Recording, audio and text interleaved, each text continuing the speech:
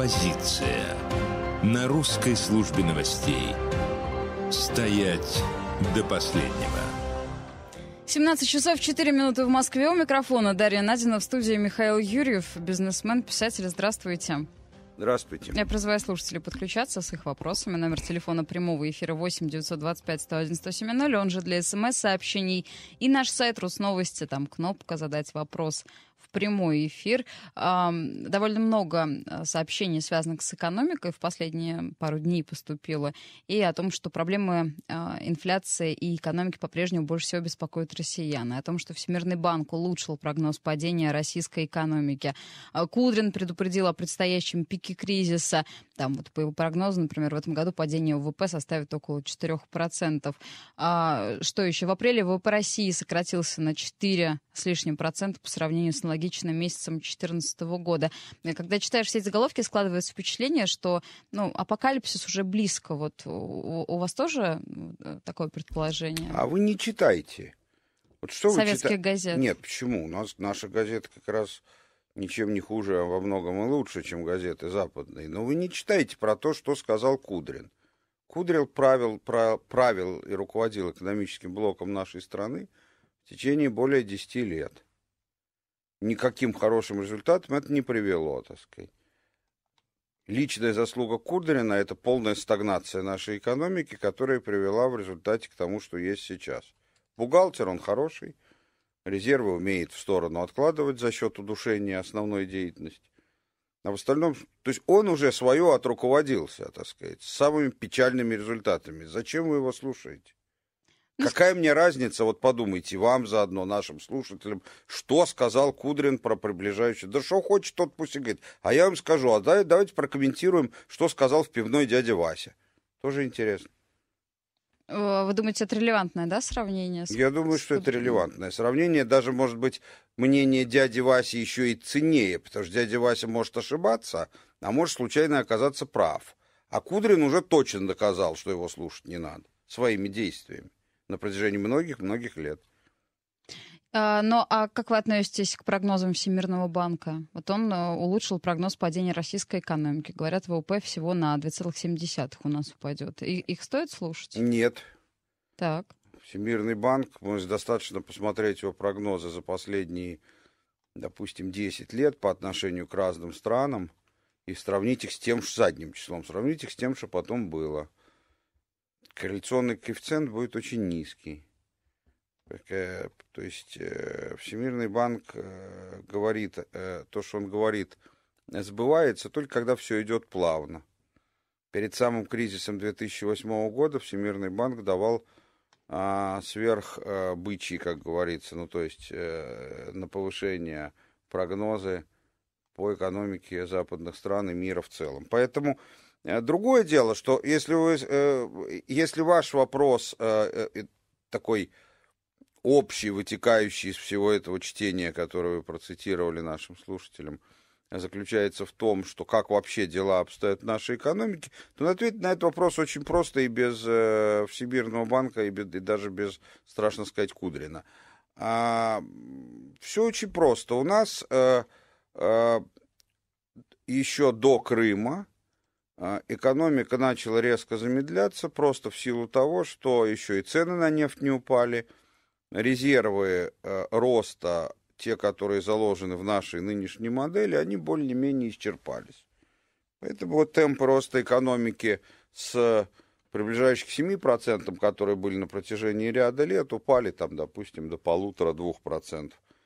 Дальше одновременно произошли давление Запада а, и э, сильное снижение цен на нефть, и это обрушило экономику, а, заставив ее перейти в ситуацию падения там, на 8%.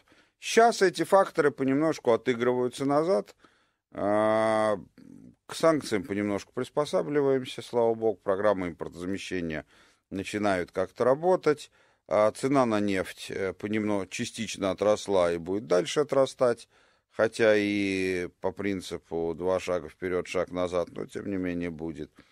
А, и в результате всего этого мы возвращаемся понемножку, но возвращаемся не к периоду 7% роста, а возвращаемся к периоду полутора процентного роста. Вот это вот так и есть. А чтобы его обратно всем перевести, это надо экономическую модель менять. А когда все это кончится? Когда стабильность наступит, э, ну, со знаком плюс? В смысле стабильность? Стабильность, э, это вы странно говорите, что такое стабильность со знаком плюс, со знаком минус. Стабильность — это неизменность. Ну, нет, неизменность бывает такая, когда сидишь в луже, например, и грязно вокруг. Вот стаби... это и стабильно сидишь в ней. Это стабильность со знаком минуса. Бывает Так. стабильность, когда ты в кафетерии булки ешь без остановки. Тоже ведь стабильность. Это за знаком плюс. Булки есть в кафетерии без остановки, это вы довольно скоро э, начнете лечиться от повышенного холестерина. Ну, каждому свое. Да. Кто о чем мечтает. А, ну, я не вижу на данный момент никаких, выражаясь научным языком, драйверов роста. Не вижу никаких э, таких вот э, элементов в том устройстве экономики, которое у нас сложилось сейчас, хорошее или плохое, которое могла вывести на нас, э, которая могла вывести бы на нас опять на высокий рост. Просто не вижу. Поэтому какой стабильность тут может быть? А стабильность на уровне плюс полтора процента в год, ну, это скоро наступит. А стабильности на уровне плюс 7% в год не вижу откуда. Вообще это возможно, но не при нашем устройстве. А если говорить не об экономике в целом, да, вот, а о жизни там п- простого гражданина, обычного человека, вот, э, вот в этой связи улучшения какие-то нас ждут в ближайший год-полтора? Цены будут пониже, э, как-то вот поспокойнее, э, увольнения прекратятся, ну вот все то, что было, чем был ознаменован финал прошлого года. Вот об этом когда можно будет говорить? Ну, мне трудно ответить на этот вопрос. Ведь все, все, что вы сейчас спросили, это напрямую связано с экономикой в целом. Увольняют же не из человека ненавистничества, Конечно. а потому что плохая экономическая ситуация, компаниям становится трудно, они сокращаются или вовсе закрываются. А, когда это прекратится, ну вот я думаю, в ближайшее время прекратится, но только не в смысле, что они начнут обратно открываться, в смысле, что дальше не будут закрываться. То есть это будет как раз стабилизация в луже, используя вашу терминологию. Вот. А стабилизация в кафетерии, я не вижу для нее просто... В принципе, это вполне возможно, но я из того, что вокруг вот в окно вижу, я не вижу для нее никаких никаких Предпосылок. предпосылок да. Слушатель, давайте спросим. Э, Вы заметили, что за последние пару месяцев жить стало лучше, жить стало веселее, кризис начинает отступать? Если да, звоните 280 12 32. 280 12 32, если за последние пару месяцев жить стало лучше, веселее, кризис отступает, и вообще вы верите в светлое будущее. Скоро, скоро все будет снова хорошо. 280 12 32. Нет, э, по-вашему, мы сейчас, у нас сейчас стабильность в луже, и ничего хорошего ждать не приходится. 280 12 33 тогда звоните. 280 12 33, если улучшений каких-то за последнее время вы не заметили, и э, с вашей жизни, э, ну, напрямую, да, это связано с экономикой, вашей жизни каких-то положительных изменений сейчас нет. Код города 495, звонок бесплатный. 280 12 32, все будет хорошо. 280 12 33, вы в это не особо верите. Код города 495, звонок бесплатный. Мы запустили голосование, а пока подключим еще и слушателей по телефону 8 925 101 170. Номер телефона прямого эфира а, и для смс-сообщений. Вот 49 пишет, давайте на Кудрина все валить, только если бы он денег не скопил, я бы посмотрел сейчас на то, как бы мы тут крутились, пишет нам Александр. Ну, то, что говорит Александр, ровно наполовину правильно. Конечно, я же, между прочим, э, когда говорил, я это отметил, потому что я, ну, как стараюсь соблюдать справедливость обычно. Безусловно, Кудрин накопил денег, которые создали подушку безопасности, которая нас сейчас и спасает. А, такой спасательный жилет, который не дает утонуть. Но дело в том, что Кудрин это делал путем полного удушения экономики, путем полного создания условий для полной принципиальной невозможности роста отечественной индустрии, и поэтому существует некая вероятность, не стопроцентная, что если бы ему это делать не дали, если бы экономику не стерилизовали, как он сам любил это называть, то тогда, может быть, мы бы сейчас и не тонули, может быть, нам и спас жилет не нужен был. У нас 30 секунд до короткого выпуска новостей. Примем один звонок, а ответим уже после выпуска, если вы не против. Надевайте, пожалуйста, наушники. 8 925 101 107 Добрый день. Алло. А, День добрый, здравствуйте. Да, алло. Здравствуйте. Да-да-да, мы вас слушаем. Очень коротко, пожалуйста. Город, Санкт- город Санкт-Петербург, зовут Константин. Я вот хочу сказать, что а, в нашей прослеживается очень четко, что два плохих шага вперед, один, один хороший шаг назад. Да? То есть вот то же самое и с долларом сейчас, э, что нам до Нового года сначала сделали доллар по 70, потом вот сейчас по 55. И, собственно, мы с вами уже, э, уже считаем, а, ну и как бы все более-менее в порядке. Вот я считаю, что это прослеживается четко во всем у нас. Поняли вас. Спасибо, Константин. Ответим сразу после выпуска новостей. Позиция. 17.17 в Москве. В студии по-прежнему Михаил Юрьев. Мы принимаем вопросы от слушателей сейчас. 8 925 101 107 Это номер телефона прямого эфира. И э, сообщения тоже приходят. Так, так, так. Что нужно для стабилизации кафетерия? Только честно, пишет Ира. Рассуждения об экономике э, писателей мне напоминают диванных футбольных тренеров. Каждый знает как. И поставишь такого деятеля, и будет как надо, пишет нам Александр. И вот еще одно сообщение. Объясните, с чем связаны антикризисные действия ЦБ в отношении национальной валюты и почему они, действия, противоречат заявлениям президента Владимира Путина. Об этом Андрей спрашивает. Ну, я не считаю, что они так уж прям противоречат.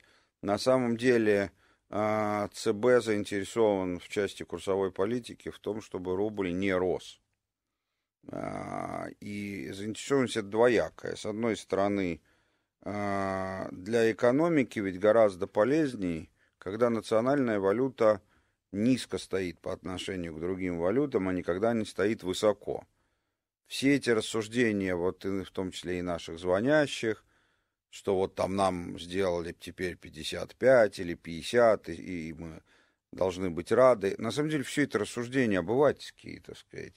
Людям, может, и нравится, когда более высокий курс национальной валюты, потому что они за то же количество рублей могут, уезжая на курорт, э, наменять больше валюты. Но для экономики это крайне вредно, потому что чем выше курс национальной валюты, чем выше, тем продукция, собственно, менее конкурентоспособная. И на внутреннем рынке, и на экспортных рынках.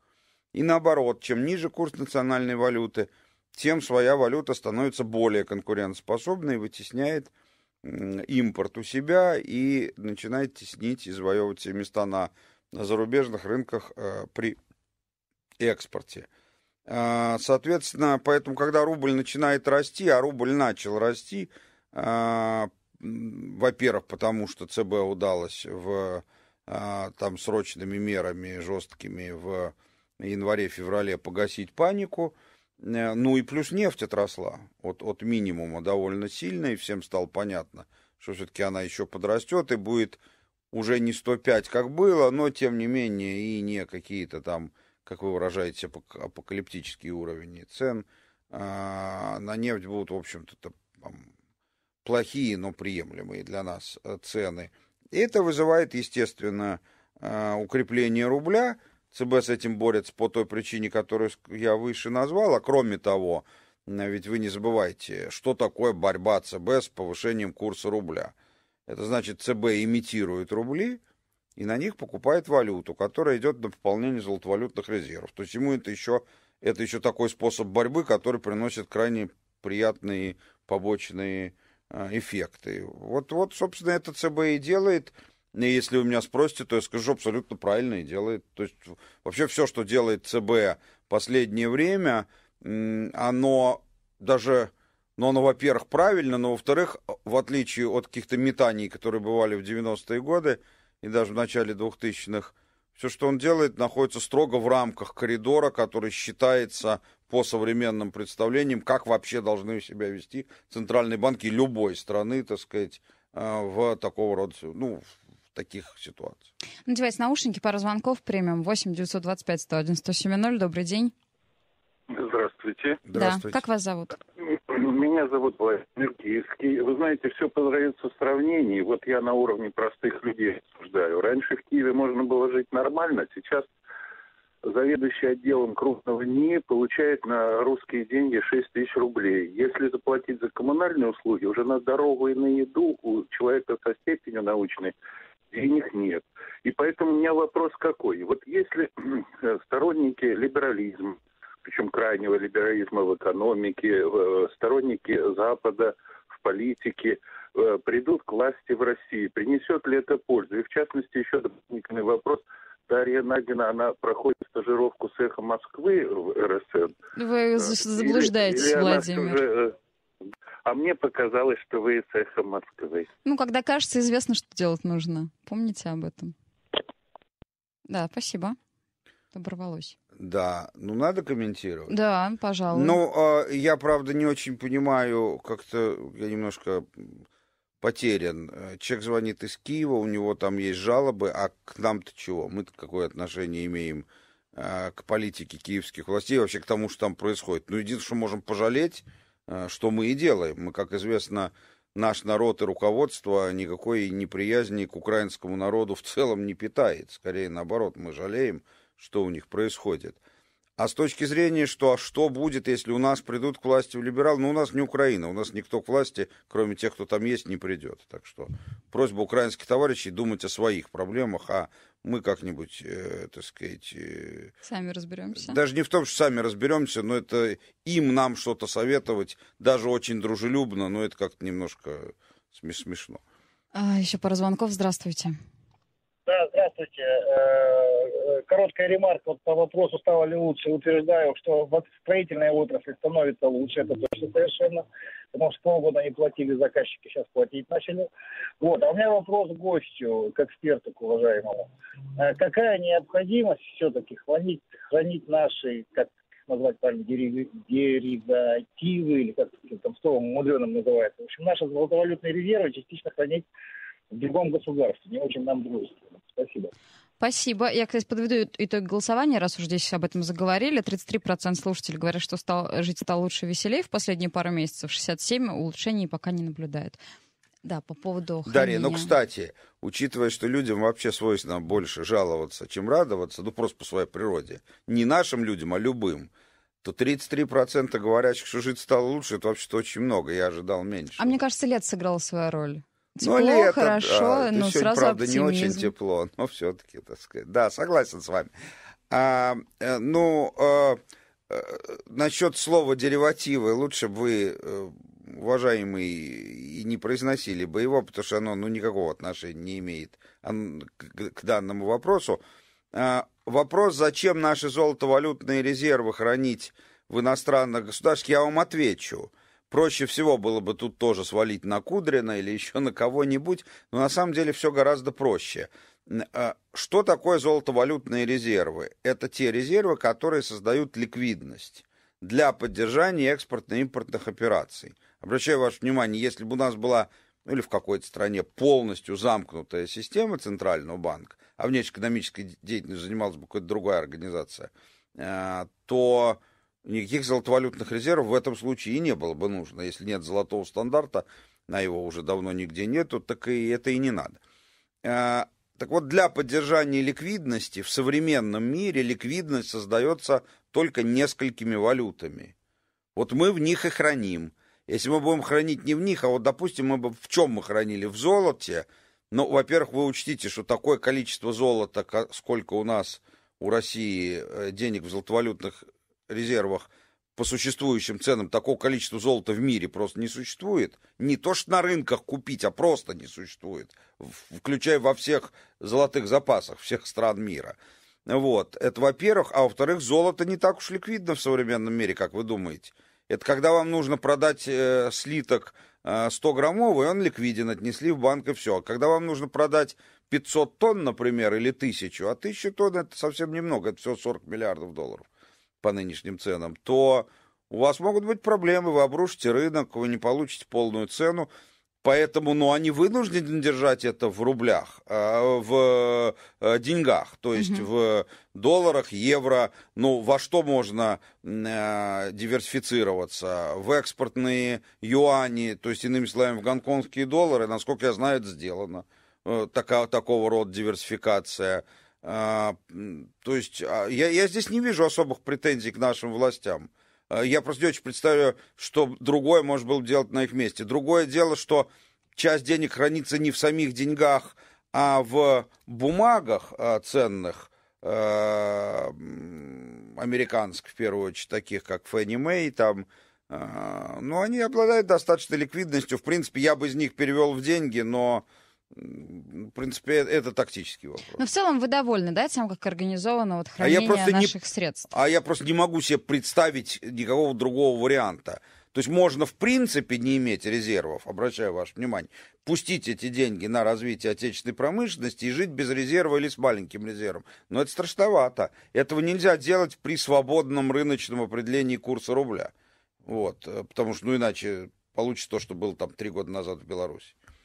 Поэтому да, в основном все правильно делают. Давайте у слушателей спросим, довольны ли они, как вы. 280 12 32 это номер для голосования для тех, кто согласен э, с нашим гостем, согласен с Михаилом Юрьевым и полагает, что деньги нужно хранить, вот наши государственные, так, как они уже сейчас хранятся в зарубежных валютах, э, э, ну, в том числе, ну и в золоте в том числе и так далее. 280 12 33 вы довольны, пускай все хранится так, как хранится. 280 12 33 нет, вы все равно считаете, что все нужно в золото перевести, ну или в зерно, я не знаю. Ну, в общем, как-то... Э, зерно а... же портится. Э, подождите, может, кто-то думает, что нормальный вариант. 280 12 33, если вы считаете, что лучше избавиться от валюты иностранной и хранить в чем-то другом, в золоте, в зерне, еще в чем-нибудь. 280 12 33, 280 12 32, пускай все будет как будет, 280 12 33, нет, давайте хранить все в золоте и в зерне. Код города 495, звонок бесплатный.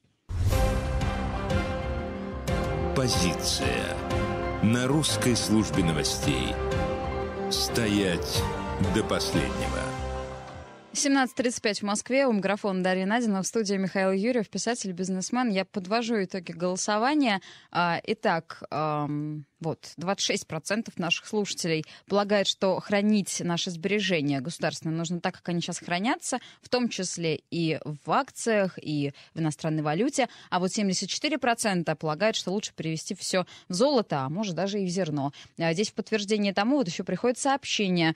А, Юрий пишет, когда США откажутся от своих долговых обязательств, вот тогда все вспомнят о золоте, но будет уже поздно, оно подскочит в цене в десятки раз. Надо пополнять золотой запас страны, а не распродавать половину доброго с бугор. А, и еще одно сообщение. Так, так, так. В... Ну, в общем, потеряла я его, но здесь вот все, там просто был разговор о том, что важно не в чем хранить, а где. Не надо нам у врагов, мол, хранить свои средства. Э, смотрите, э, ну вот из того, что вы сказали, короткий комментарий. Во-первых, в акциях у нас ничего и не хранится.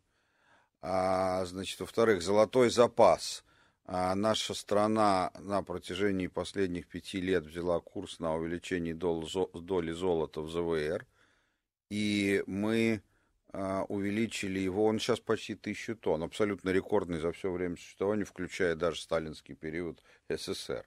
Поэтому, но больше золота его просто нету. Вы не забывайте, что э, тысяча тонн, чтобы нашим слушателям было легче, тысяча тонн золота – это 40 миллиардов. То есть нам нужно было бы для того, чтобы, вот, допустим, все свои золотовалютные резервы а, нынешние, они бывали и гораздо больше, и будут, я надеюсь, перевести в золото, нам нужно купить 10 тысяч тонн золота, даже 12. Ну, скажите, пожалуйста, где их взять? Годовой, годовая добыча золота в мире, не, не рынок, а просто добыча, 3 тысячи тонн во всем мире. Мы, кстати, вышли на, с большим отрывом на второе место а раньше были только на четвертом. Мы обогнали ЮАР, и Австралию, уступает только Китаю, где, в свою очередь, много добывается из-за того, что там датируется это государство. Там тоже такая, такая же государственная программа. Теперь по поводу того, что вы сказали последнее. Я согласен, что у золота при его недостатках есть огромное преимущество, которое заключается в том, что оно физически хранится у тебя на территории, и отобрать его можно только выиграв у тебя войну. А когда ты хранишь э, доллары в безналичном виде, э, то наличным, в наличном хранить опасно, у тебя их могут просто не принять в какой-то момент, как и было с французскими долларами в 60-е годы. Э, но э, это, э, как сказать, ну, я хотел сказать виртуальные, безналичные доллары, они действительно виртуальные. Это просто запись на счетах, на корсчетах в американских банках. И в этом смысле их действительно технически в любой момент можно отнять. Так же, как если у кого-то в мире есть рубли, то все они могут быть только в виде записи на корсчетах в России. Ну, такова природа финансовой системы. И это, конечно, плохо. Тут я с вами согласен. В этом смысле в золоте было бы лучше. Вообще это всячески поддерживаю. Одна проблема 10 тысяч. У нас очень большой ЗВР. Нас большой резерв. У нас Ну, нету 10 тысяч тонн в мире. На мировых рынках с большими усилиями, между прочим, еще конкурируя с Китаем, который не жалеет на это денег, в мире можно купить в год, ну, если 200 тонн купишь, это большая удача. А вы хотите 10 тысяч, а их взять просто неоткуда. Давайте еще пару звонков примем. Наденьте, пожалуйста, наушники. 8 925 101 107 Здравствуйте. Здравствуйте, Илья Москва. Да, Хотел задать вопрос по поводу сейчас вот такие новости рассказывают, во-первых, об оттоке капитала, то есть из страны. Вот хотел бы узнать, вообще есть ли он, то есть отток какой-то, или что это за капитал, чей? То есть это иностранные фонды или наши все-таки выводят? Ну и вот как это связано с снижением рейтинга, то есть страны нашей, то есть угу. агентствами иностранными. Спасибо. Хороший очень вопрос. А, в основном, сразу отвечу, а потом прокомментирую. В основном отток, все цифры по всем годам, все цифры оттока капитала, как и притока в те редкие годы, когда он был притоком, это в подавляющей своей части краткосрочный спекулятивный международный капитал. А, на мой взгляд, никакого прока от него нет, когда он приходит, и когда он уходит, никакого вреда нет. Это называется что-то такое было без любви, разлука будет без печали, что-то не помню уже такие известные стихотворения. А, и, э, соответственно, вся наша экономическая политика со времен упомянутого Кудрина направлена на то, чтобы сделать как можно лучше и чтобы каким-то вот любым способом привлечь к себе вот этот вот краткосрочный спекулятивный капитал, который на официальном языке называется портфельные инвестиции – для чего это делается, я совершенно не понимаю. Плохого предполагать не хочу, а, а без этого просто не понимаю. Вот. Теперь э, по поводу того, э, как это связано с э, падением рейтинга. Связано, но я думаю, что это тут обратная причинно-следственная связь. Капитал утекает, из-за этого рейтинг падает, потому что на самом деле в, так, как считаются капитальные балансы стран, а, по правилам рейтинговых агентств, там тоже на первом месте. Просто сам большой вклад естественным образом а, происходит вот этого краткосрочного спекулятивного капитала, поэтому если он утекает, то а, просто у них как бы компьютерная программа автоматически понижает рейтинг. В этом даже нет чьей-то злой воли. Ну, просто эта программа основана, на мой взгляд, на неверных посылках – ну, тем не менее. То не... есть по, по, политики нет, да, вот в этом, во всей этой истории? Нет, бывает, но вот в данный момент нету. Угу. То есть это все работает в автоматическом режиме, пока рейтинговое агентство не попросили настоятельно из Госдепартамента проявить зрелость в каком-то вопросе. Тогда программы отключают и делают, э, приходят к правильным выводам. Но как, когда не звонят, тогда это все происходит без политики. Знаете, у нас про Госдепартамент так много разговоров, и складывается впечатление, что этот американский Госдеп, значит,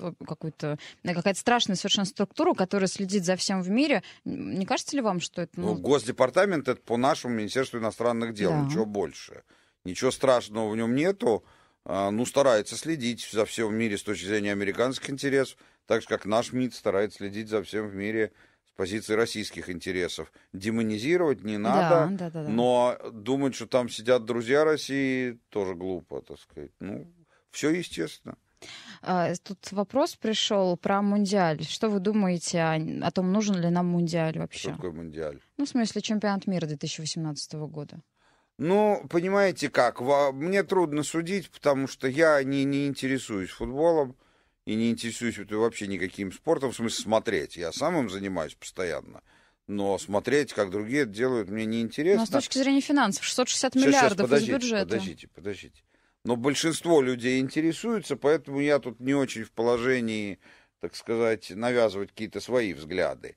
Э, я бы его вообще и не начинал бы, эту историю, там, 5 или 7 лет назад, когда это а, было.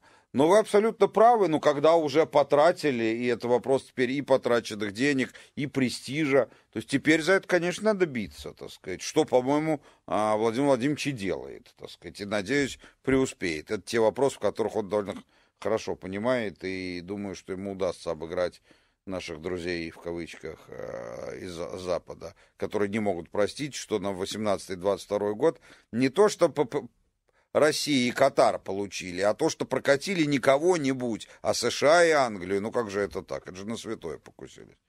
У нас буквально две минуты до конца. Успеем один короткий вопрос э, принять и на него ответить быстро. Давайте постараемся это сделать. Добрый день. Да, здравствуйте, меня зовут Василий. Василий, если можно, очень коротко. Очень коротко, вам не кажется, что есть такой некий замкнутый круг, что с одной стороны Центробанк все уже стащил, вот футбол и так далее, а я как предприниматель и производитель, то есть я производством занимаюсь, э, с администрацией не вижу никакой заинтересованности в том, чтобы развивать производство и вообще. А уже вести бизнес становится сложнее, но, точнее говоря, его надо вести все более правильнее. Вот нет ли у вас э, соображения, к кому бы еще обратиться, потому что по всем министерствам уже прошел, чтобы помог без, э, без, без взяток? Вот вопрос. Ну, я думаю, я понятия не имею, кому, я не знаю, какой у вас бизнес, не знаю, к кому надо обращаться, но я как человек, у которого не самый маленький в мире бизнес, правда, не в России, а, могу сказать, что вообще-то, когда у вас бизнес, правильно не обращаться никому из властей, а работать на рынке. В противном случае, даже если вам помогут, вы будете полностью от властей зависимы, и цена вашему бизнесу будет невелика, так сказать. Э, думайте сами как-то. Как а может, за границу мы тоже приехать, как вам? Ну, в смысле, бизнес перевести за границу. В смысле? Я, я один из ведущих игроков на рынке сжиженного газа в США. Ну, я Открытый рынок, приезжайте, пожалуйста, кто, кто, кто вам мешает. Никаких проблем. Ну хорошо, я ну, надеюсь, я что не даю совет, я, я, не, я не биржевой консультант. Это Михаил Юрьев, бизнесмен, писатель. Спасибо, что пришли. На все оставшиеся у слушателей вопросы, я думаю, ответим в следующий раз.